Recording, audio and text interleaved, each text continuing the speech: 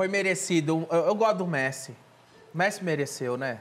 O Messi é um, é um jogador, por exemplo, ele é um bom homem, ele não, não se mete em besteira, é um cara que aparece para treinar sempre, não chega atrasado, entendeu? Você vê que ele é, é família para burro, entendeu?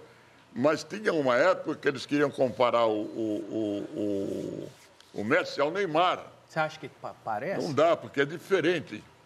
O Neymar é mais, sabe, mais escândalo, como diz assim. Quer aparecer mais, entra sempre por último em campo, amarra a chuteira de vez em quando, mostra a cueca quando pagam. E o Messi não, não liga muito para essas coisas. Vai lá, mete gol. E acabou. a- abraço pra família. Você já reparou que quando ele está com a bola no pé, parece que a bola está grudada na perna? Ele é pé, bom, hein? ele é bom. E os passes que ele dá? Ele é um cara, ele é, ele é muito completo. Ele é completo, ele tem uma visão de duas ou três jogadas na frente. Ele meteu uma bola nessa, nessa Copa aí, no meio de três, e o cara entrou e fez o gol. Então você vê que ele tem uma visão da coisa. Tem uma visão. Mereceu, mereceu ter Mereceu. a Copa. Você sabe Eu eu... tenho uma coisa mereceu também, sabe por quê? A Argentina está sofrida, o povo está muito sofrido. Tá. Né? Eu tenho a impressão que essa Copa aí vai dar uma.